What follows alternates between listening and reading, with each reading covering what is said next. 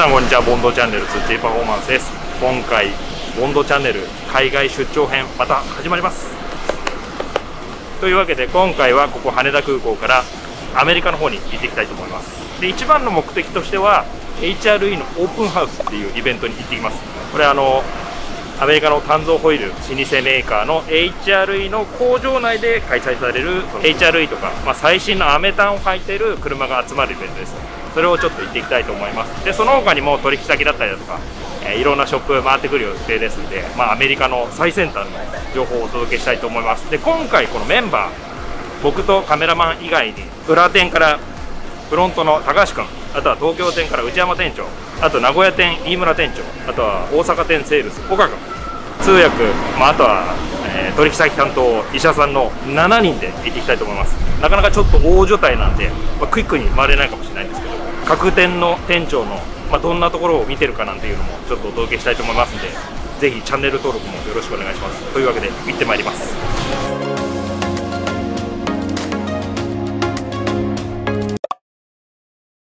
一応飛行機自体は意外に空いてるかと思ったら結構込み込みでほぼ満席、まあ、気になる手続きの方も一応行くギリギリまでは陰性証明が必要だったんですけどなんと行く本当に3日前ぐらいに陰性証明がいらなくなりましたということで何にもなしで入国しました。乗るときだけあれかな？ワクチン接種のあの確認が必要なぐらいで。6ドル65セント。1ガロン3.8リッター。上パワーは何？その上じさゃないらにパワーが減るんですよ。オクタンクはもっと高いやつーツノースアメリカ。うわ体感すげえいっぱいあるな。なんで急に悟空になったの？いっぺんおんぞ！ほら大会いっぺん見たぞ。体感これあれじゃんクロスツーリズムだっけ？緑色。やっぱりナンバー取ってあれじゃない？US マーカーじゃない？これ中かっこいいね緑色だ。しかしでかいこれディーラーと裏側にあの千葉の Experience Center みたいなちょっとテストコース的なのがついてるみたいです。これすごいね。さあというわけで今 Porsche Motorsport North America の中に入ってみました。これそのまんまあれじゃんテストコースっていうか本当にあの千葉の Experience Center みたいな。やば。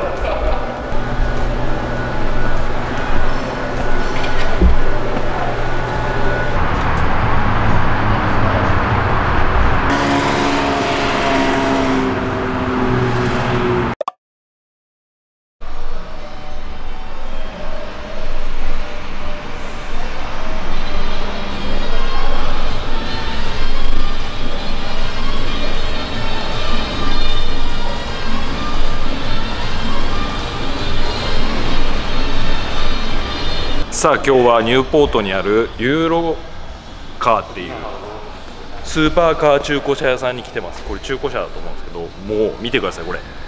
見渡す限りとんでもない高級車が。しかもちょいちょいいじってあるっていう。こっちのウルスなんかワイドボディになってたりとか。カリナもホイール入ってたりとか。これすごいね。24かな。ええ。でこっちのウルスはワイドボディになっててホイール入っててこれ何のホイールだろうね。すげえでこっちはもうマクラーレンがザザザって。で僕はあの765初めて見ましたで向こうはロールスがもう全部バーって入ってて。これすごいね。ニューポート自体がなんか結構ちょっとそのお金持ちのエリアなのかな。まあ、なんか昨日あのご飯ちょっと取引先と一緒に食べたんですけどそこの駐車場もなんか高級車が結構ボワーって並んでて。にしてもすごいよね。そしてしっかりフルスモっていう。アメリカだな。バルブトロニック。高自動カーボンになってる出口がへえすげえ STO もだってあそこにも入ってるし入り口にも入ってるし AMGGT も。やばいよね東京店名古屋店大阪満場一致で一番やばいのはこれだっていう。これすごいね。これじゃ何の伸びてる伸びてるやつ。でも確かに伸びてくっぽいデザインが FT 何それ？わかんないです。奥にはあっちラフェラーリも入ってたりとか。MC20 も。初めて見ました。マット。飯村さん的にも一番やばいのこれですか？そうだね。この色色がねウルスのワイドボディとかもありそうですよね。いいなえ SVJ ロードスターって今いくらする今1億本当に2000ぐらい。わこの前売ったやつ1億。このかっこいいんですよ765ベロス入ってて。765はまだ販売したことはない。まだあのプレミアついててあんま出てこない。そうなんだ。これこういうかベロス。あこれベロスなんだ。そう。てかフェンダーすい、ごいねこれ。うん、マットが多いですね。マット多いね。うん多いいやだってシュレッドスの弁天が水色。水色だったりとか。ねブラこれすごいね。かっこいい。でこれなんかオレンジ色。これがいいんですよね。その US マーカーを塗るって。ー。これアメリカの人結構やるんですよ。バンパー自体は違うんでしょ？日本仕様と。違う違うユーロこのユーロと。穴があえて日本で US マーカー入れて塗りたいあこの人は？アメリカっぽい。そう。でこれがスポフェック。えー。伸びていくの？ワイドボディ伸びてるこういうんじゃないじゃんこういうまた違うやつ。でしょ26でしょ。これ26なの？違うんですか？26インチ。でかっあでもタイヤはさすがになくなるからレグザーニとかになる。そうそうそうそう。ヨーロッパメーカーのタイヤとかないないですね。レグザーニとかあのロライオンハート。そうそうえー。でこれフルスモだからわかんないけど中も真っ赤っかで。これいいじゃないですか。買って帰るえこれいいじゃん。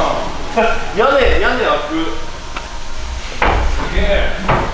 えこれあのラングラーみたいにパカッと折れるすごいの発見しました。なんとベージュのワイドスター。さあ続いてきたのはさっきのユーロカーから車でどんくらい？10分ぐらい？15分ぐらい？15分ぐらい。のランボルギーニディーラーです。でもランボルギーニディーラーだけど、うん、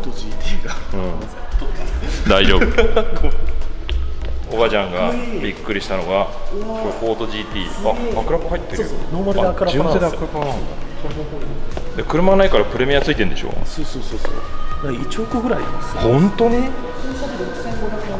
ランボディーラーだけどマクラーレンが入ってたりとかセナ。LM ではではない。ではない。セナが入ってたりとかブガッティが入ってたりとかこれすごいな。シロン。シロンディーボ？これドイツドイツ行った時にね野生野生のシロンに遭遇してる。マジっすか？うん。シルバーだっけな？白だっけな？反対車線走ってる。ピュアスポーツって書いてあるあ本当だ。シロンピュアスポーツって書いてある。これすごいね。すごいけどちょっと近寄れねえな。こっちはスーパースポーツシロン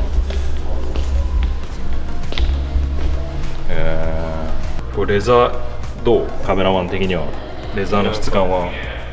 薄すぎてちょっとあんまよくわかんない。ああ確かに。いいんじゃないすげえなこれ。なかなかね日本じゃディーラー入れてくださいって言っても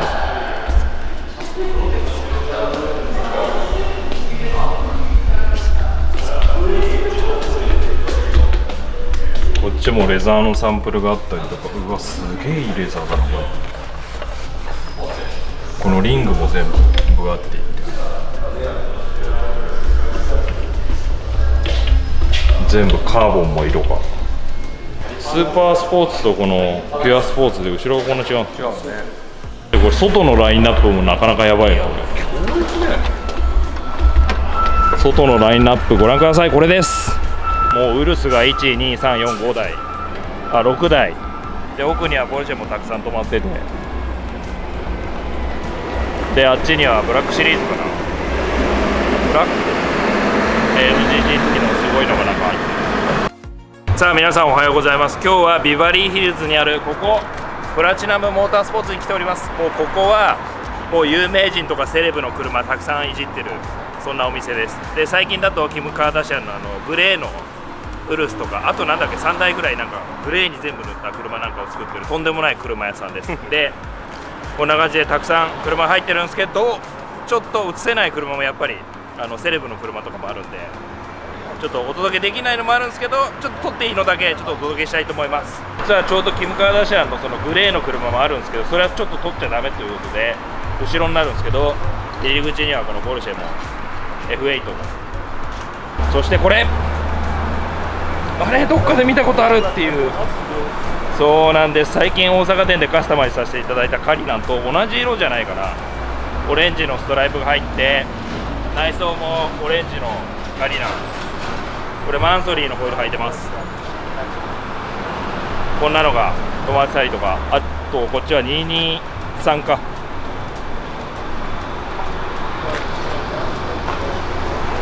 で奥ではこのワイドボディのこれはなんだフランスか。作ってたりとか。そしてちょっとここまでになっちゃうんですけどブロンコアメリカもう今回あのアメリカ出張でブロンコめちゃくちゃ走ってるんですよね。こんなのもいじってたりとか。でご覧ください。浅井さんのカリナンを作るときにインサートで使わせてもらったやつもデカデカとこんな感じで看板であったりします。でアメリカらしくちょっとこの物は乱雑に置かれてる感じだけど入ってる車がやばい。でこっち側ピットになってるんですけどこっち側もちょっと取っちゃダメな車が入ってるってことでギリギリまで。そしてこっちのワークショップの方では今ちょっとお話教えてもらったら、えー車種的にはゲレンデとカリナンが今すごく人気みたいです。でこれからどうもレンジローバーが来そうだっていう話はしてました。であとはパース的にはマンソリーとあとブラバスがやっぱりかなり人気みたいでブラバスの品質はやっぱり超一流だっていうふうにこっちの方でも言ってたんで、まあ、それは世界共通認識なのかなと、はい、で他にも本当にいろんな車が入ってて、まあ、ノビテックだったりだとか、えーまあ、ボンドで取り扱ってる商品結構かぶってたんで、まあ、似たようなことやってんだなっていうのをちょっと見て思いました。このカリナン浅井さん作ったやつと同じ色よ。全く一緒だよねこれ。そうそう。このオレンジストライプとね。ワイドボディじゃない。ホイールだけマンソリーであとこの辺全部塗ったもんなるほどなるほど、同色であのしぼしぼのところ GT2 もノーマルっぽいけどホイール多分塗っとるんですよ。グロスブラック設定ない。設定ないんだグロスブラック。でやっぱりマーカーはこう高級車のマーカーは塗るのが定番という。そうさっきあのゲレンデの US マーカー剥がしててうんうんうんうんで言ったら日本のあれにしたいって言ってた。そう日本のは US マーカーなしでうん伸びる、うんうんだからあれに交換したいってさっき言ってみんなやっぱりそこないものねだりなんだねえ逆に日本人が US マーカーつけたくなるの、それと一緒だね。なんでこの辺は全部塗ってあってそうそうそう。こっちもみんな塗って。で向こうにあの自分家でその塗装ブースがあるんで、うんうん。結構そのオールペンとかの需要も多いで。でやっぱりそのラッピングもなんかにアメリカだと80万ぐらいでゲレンデだとできるらしいですけど、まあ、日本よりちょっと安い。けどやっぱりトラブルとかが後々出てくる可能性がある。あもう塗っちゃおうってなっちゃうねでやっぱり車汚れるしアメリカ。確かに。なんかそうそうそう。直射日光すごいからすぐ剥がれそうで置いてある車もみんなこう埃だらけというか。なんでオールペンの需要がすごく多いみたいです。うん。オールペンは決して安くないんですけど全部塗っちゃったりとか、ちょっと本当にこっちの後ろにある車を撮りたい。そう。これ 見せたいけど見せれない。見せられない。中もすごい。けどオールペンもしてあって中も全部やったってホイールもエアロも全部やっててちょっとここまでやってるのはやっぱりちょっとセレブこの辺に住んでるセレブ御用達っていうのは分かるヒルズやね。ただやっぱりちょっとやってることは結構ワイルドだなっていう。なんかうんあの日本やったら怒られるやろうなっていう物ボーンって置いてあって。そうそうそう。とかなんかエアロのフィッティングがちょっととか。出来上がったぞみたいな。そうそうその辺はこの繊細な場所まで見てる。日本とで違うかなっていう、だからすごくでもねクリエイティブなことやってる。他の国じゃちょっとあんまりやらない、ちゃんと当たるところ削ってあるんだ。でやり直してあるんだ、えこれは日本もやってます。あそうなんだ。そうやからアメリカ人もここまでやるんだなっていう。ー、バラバラバラバラとか言いながらそうそうそう走るんじゃないんだちゃんとその辺の気は使える、なんと今ちょうど話をいろいろ聞いてたらレンジローバー次絶対来るよねみたいな話になってレンジがなんと来ちゃいました。たまたま入庫してたみたいです。すごい。全く凹凸のないこのデザイン。新型レンジまだ日本じゃ走ってないんでかなり驚きです。中は先代の雰囲気すごく残した感じですけどデジタルインナーミラーになってたりとかこうナビすごく大きくなってたりメーターも全部フル液晶かな。じゃあねでも先代の雰囲気結構残ってない。シートの形とかなんか前と、うんうんアームレストも相変わらずだし、うん。けどね一切凹凸がないという。で US のヘッドライトなんでマーカーがついてて。でタイヤサイズが285402324がじゃあ定番なんだ。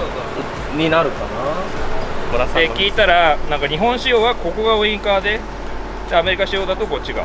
でこの中にその灯体が入ってるかどうかわかんないですけどアメリカ人からするとなんでここが光んねんだよっていう話みたいです。なんと内装も撮ってみたい。うわかっこいい。すげえ。このオープンフィニッシュの内装かっこいい。そして内装焦げ茶なのかなこれ。黒かな。すげえ。まさかレンジ次絶対来るよねって言ってたらレンジがそのまま来るっていう。すごいタイミング内装こんな感じでデジタルインナーミラーがついてます。大阪ではまだ問い合わせはない。新型レンジ注文入れたんだけど。あでも入れてる人はいます。あいるんだやっぱり。あのファーストエディションがあもうちょっーとで来るって人はいじゃあもうプラチナムのこの作る車今後出てくる車要チェックだね。るねどんなので来るか。え26とか入れそう。であ26インチ。あとオリジナルホイールやっててあの看板のホイールあれが社長がデザインしたやつだねえあれをちょっと。確かにああいうのも来そうですね。さあ続いてやってきたのはこちら。ロスにある German Tuning Corporation GTC です。ここはブラバス USA インターナショナル。で中に入るとちょっとコンパクトですけどこんな感じでディスプレイがあってカタログとあとコンロッドとカムシャフト。これコンロット見るとちゃんとブラバスって入ってるっていう。でこれが多分900とかあの辺のエンジンの中まで触るメニューに使われてる多分パーツだと思います。でマフラーのサイレンサーもこのグラスウールがこう中に見えるようになってて。でちょっとですけど向こうにサンプルなんかもこんな感じであって、まあ、本国と変わらない作業ができるという。オフィスもすごく綺麗。そしてこっち今工場長にツアーをしてもらってるみたいなんですけど中に入るとこんな感じでめちゃくちゃもうピットが綺麗。こちら入ってるのがエディション550ということで限定車みたいです。でブラバスのパーツがたくさんついててこのモールなんかも変わってたりとか。ホイールこれちょっとちっちゃいから23かな？22か。そしてグリルガードもついてたりとか。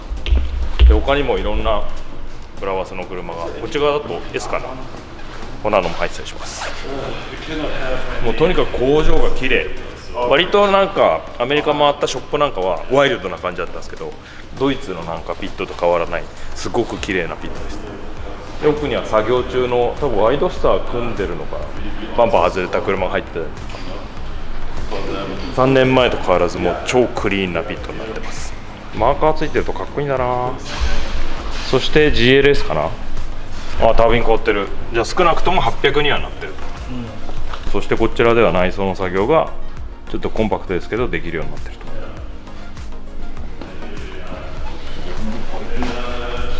全部張り替えてるとこでしょ？すごいっすよね。そうだね。マイピンク入ってる分かりやすいです。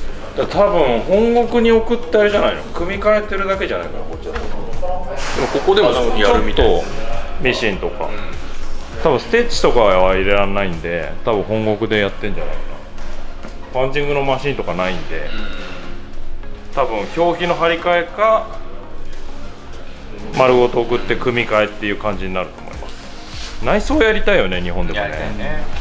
ファインレザー。でこんな感じで外したパーツも全部。だ内装コンプリートまでここで作れると。これかっこいいねマッキッキかっこいいですねこう反射がやばそうだけどフロントガラスのでこっちもステアリングだったりエンジンのカバーがあったりとか組んでる最中のこのワイドスターのパーツがあったり。でいろんなショップ今回回らせてもらったんですけどいろんなショップであの全部言ってたのはブラバスはやっぱり製品のクオリティがもうナンバーワンだっていうふうには言ってました。これもワイドスター今組み込み中かな？すごい。キャリペンも全部されてて。キャリペンこれブラバスが文字抜きうんうん、枠抜きになってるんですよ。ね、枠だけ黒で。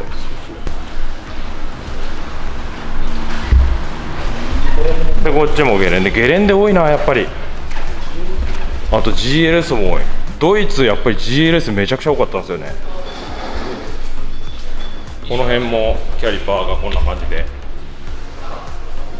ペイントされてたり。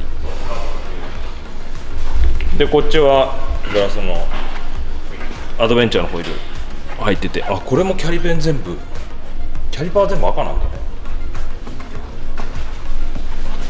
あこれアドベンチャーになってる。あでもルーフはこのザラザラのカーボンじゃないやつがあスコップ。初めて見た。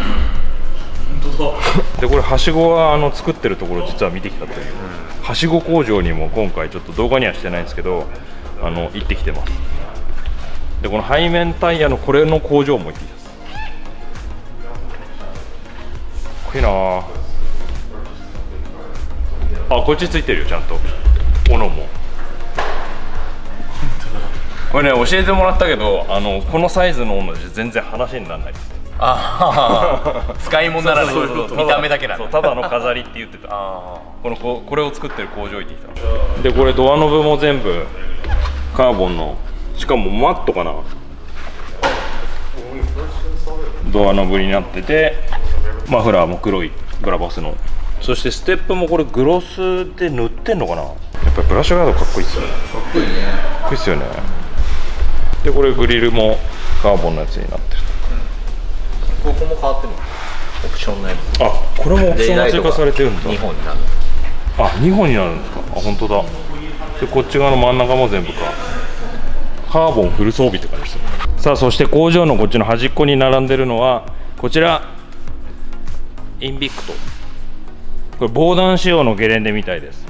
でもただ単純にこの風になってるんじゃなくて全部これ車がやり直されててこれお分かりいただけますでしょうか？ガラスがなんかこの黒いこの縁があるやつ。これドアノブがドアロックピンがないのがお分かりいただけますでしょうか？もうガラスの厚さもこれぐらいもうほんと1センチ2センチぐらいあるのかな。めちゃくちゃ分厚くなってて車全部やり直して補強鉄板が入っててもう防弾の。これホームページにどのぐらいの爆破だかあの銃弾だかも防げますっていうのが載ってるぐらい。もともとブラバスがメルセデスのその防弾仕様の車とかも作ってたんで、まあ、その技術でこのゲレンデも作られてると。でリアのはめ込みのガラスもすっごくこっちに出てるのが。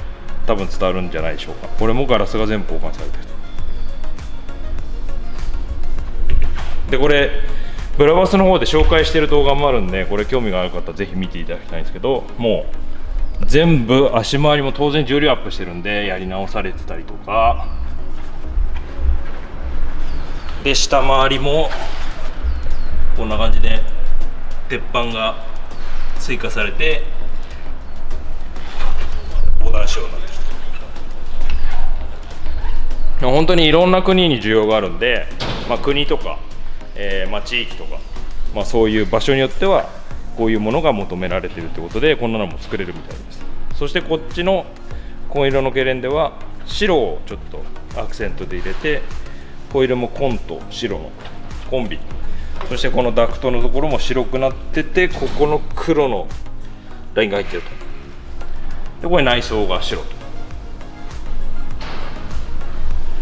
でこれエンジンも800になってるんで、まあ、タービンもハイフロー加工されてる。こんなのも止まってます。これかっこいいね。すげえこれ初めて見たな。ブラバスの本社に行ってもこれなかったんで。でこれもう見えないそのドアの中とかも全部補強されてるという。あフロントガラスもこれ違う気がするな。むっちゃこうガラスが出てる。今聞いたらルーフも全部補強されてるらしいです。あそうそうそうこのドアのヒンジもなんと一回り大きいものになってるってことで。すげえ。ドアがめちゃくちゃ分厚くなってるこれが。これ鉄板がもう5ミリぐらいの鉄板が1枚追加してあってこの内張りも全部作り直してある。内張りはちょっと薄くなってここがええあブラックスオートモーティブのこれ初めて見た。うん。ドア重すぎて閉まらんちょっとドア閉めてみましょうじゃあ。お金庫じゃんこれ。やばい閉まらん。いやマジ金庫だねこれ。ほら。すげえ。これはちょっと初めて見たな。まだ開けてくるうわすげえ。うわ。うわ。やばいやばいやばい。ガラスがもうむちゃくちゃちょっとこれどのぐらい？2センチぐらいあるんじゃないの？だからピストルぐらいだったら全然多分防げちゃう。だから本当にその有名人の人とかちょっとその、まあ、政治家の人とか、まあ、あと地域によっては。だからまあ世界中にその対応する車が作れるっていう。日本じゃ本当必要ないかもしれないけどアメリカだったらね巻き込まれる可能性もあるかもしれないから。これじゃあ動画で宣伝しましょう。今話を聞いたらこれお客さんの車じゃなくて売り物らしいです。欲しい人はじゃあ。